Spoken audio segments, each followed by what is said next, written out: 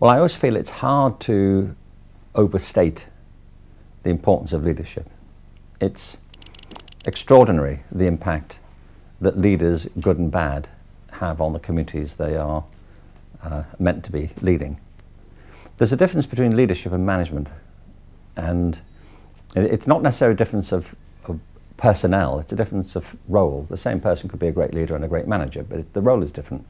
The role of a leader is to uh, provide a vision uh, for a community to try to realize, a sense of direction, um, a, a, a set of goals and purposes, and to inspire people to believe in it and to pursue them. The role of a manager is to make sure everything's working so that actually comes to pass. And you know, some people are great leaders and poor managers, and there are great managers who aren't very good leaders. They're, they're different sorts of roles, and some people are, can be both. But in an institution, the really critical role is of a leader because communities on the whole do need to be brought together uh, into some sense of common purpose. I mean, it can arise spontaneously uh, in the organisation, but where you have a, an organised institution like a school, uh, the, the leader influences it in almost every way through their personality, their outlook, their disposition, and how they connect to people. And there are all sorts of different styles of leadership. Sometimes, if, you, if you're just after efficiency, if you just want to get the job done, then you may need to go into command and control mode.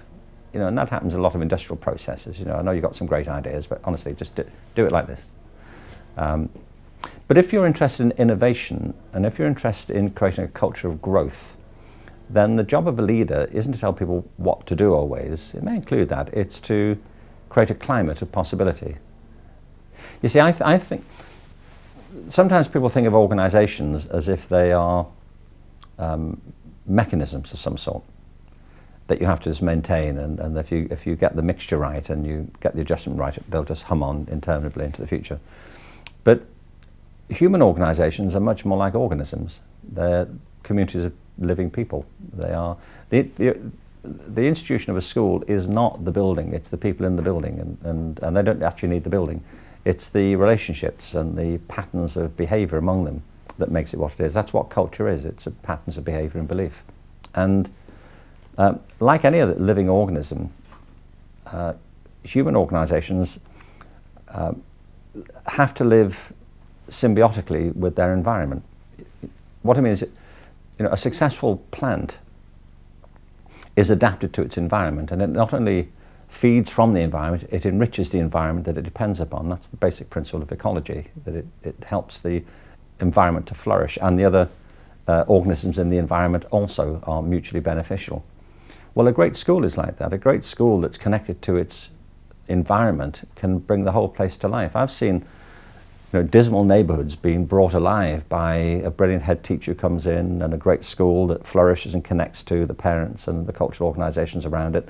And you can see equally poor schools draining the life out of a neighbourhood where people are bereft of hope and optimism and it, you know, that's the worst school in the neighbourhood, nobody wants to go there. And what it also suggests, just to, to extend the analogy, is that organisations and organisms flourish under certain conditions. They need congenial conditions. So the role of a leader for me in education is to understand what the conditions are in which people flourish. The conditions, like a teacher understands the conditions under which kids will learn best. And those conditions are not normally sitting down for eight hours straight doing multiple choice tests. Uh, they include getting up on your feet and moving around and dancing from time to time and uh, getting involved in projects that interest you and having your curiosity piqued. That's why I say teachers are enablers, not just instructors. And the role of a head teacher is to create the conditions in the school where teachers can do that. The role of a district is to create conditions where the schools in the district can do that through collaborating. And the role of a government is to create conditions where districts can do that. That's what I mean by the ecosystem. But if we forget that the whole point of the system is to help the students to learn, then the whole thing gets turned upside down. And then you end up with a situation where the whole point of education is to get higher up the PISA league tables, and that's when it all goes off the rails, I think.